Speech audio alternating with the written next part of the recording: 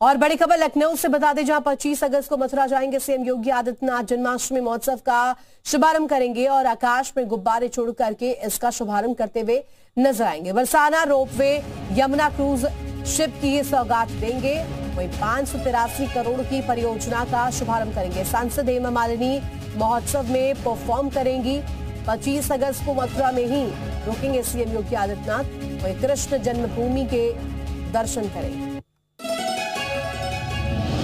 26 अगस्त को कृष्ण जन्मभूमि के दर्शन करेंगे मुख्यमंत्री और 25 तारीख को वहीं पर रुकेंगे और इसके बाद 26 तारीख जन्माष्टमी के मौके पर दर्शन करते हुए कृष्ण जन्मभूमि में नज़र आए